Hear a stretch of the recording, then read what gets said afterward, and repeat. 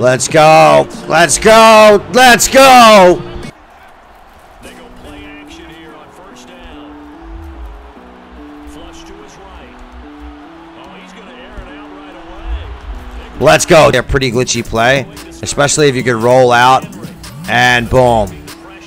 There we go. And we got our wide receiver with top. There we go. And we're going to take that to the house with DK Metcalf. Uh, he is a mover, dude. He is a mover. All right, so let's go ahead and boom, touchdown. Feeling him like that, bro. Just not feeling him like that. Let's go.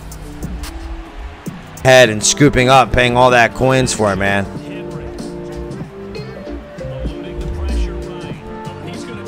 Boom, we got Deion Sanders on the sideline.